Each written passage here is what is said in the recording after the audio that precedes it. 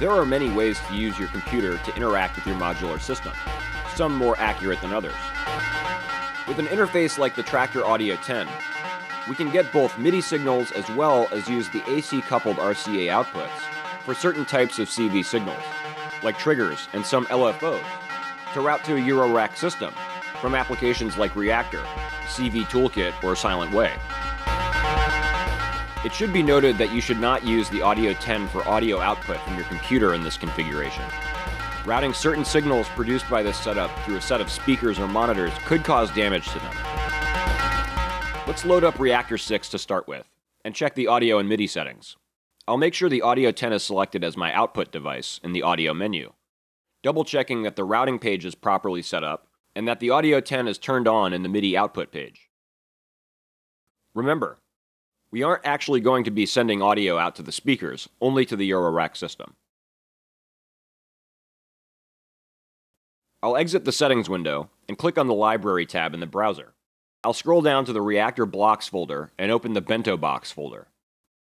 I'll double click on the LFO, automatically loading it into a new ensemble. Notice we have two output ports available on the right side of our environment. These correspond to outputs 1 and 2 on the Audio 10 since we set it up as our audio device. I'll route the output from the LFO to output port 1. Notice in the meters above, we can see the left channel signal rising and falling. I'll route an RCA to 8th inch cable from output 1 to the pitch input on the Malekko anti-oscillator. Notice the pitch rises and falls within a slim range.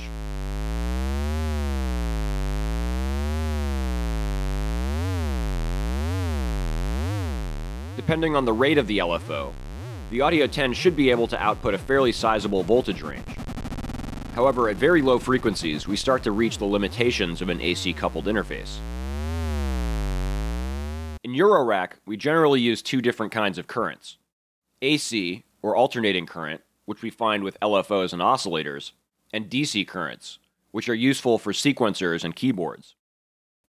DC coupled interfaces, like those made by Mark of the Unicorn, can sustain direct currents from the audio outputs.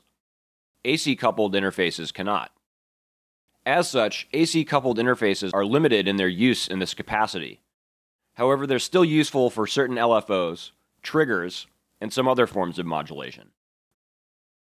Combined with the MIDI functionality in the Audio 10, we can get some complex results, even without the DC coupling. I'll add a few things to our ensemble.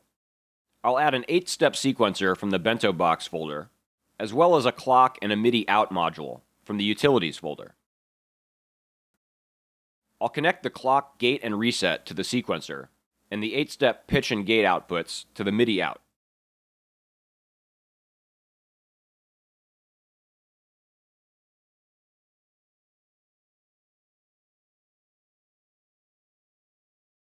I'll patch a MIDI cable from the output port on the front of the Audio 10 to Yarns.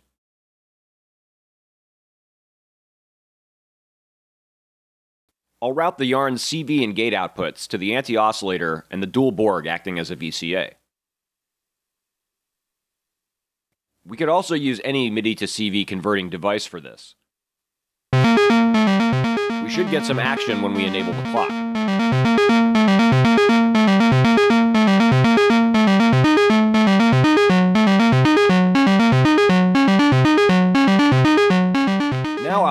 More modules to the ensemble.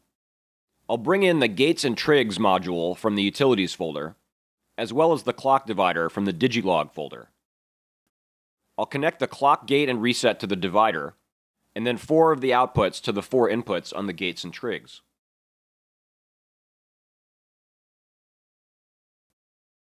I'll copy and paste the two audio output ports a couple of times the duplicates automatically switching to the subsequent output ports 3 and 4 and 5 and 6, giving me access to more of the output ports on the Audio 10. I'll route each of the gates and trigs outputs to a port, and then connect the ports on the interface to some drum modules in my system.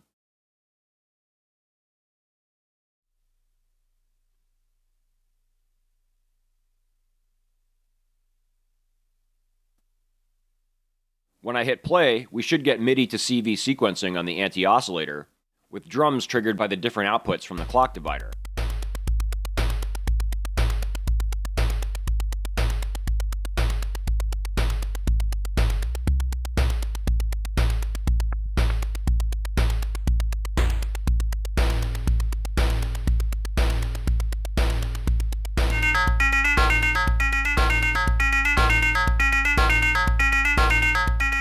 We'll explore more ways to use this setup with other software and hardware in the future.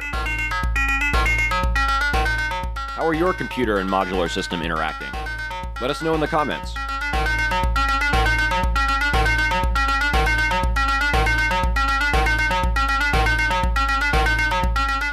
Thanks for watching and sharing. As always, please like, follow, and subscribe. And remember, patch smarter.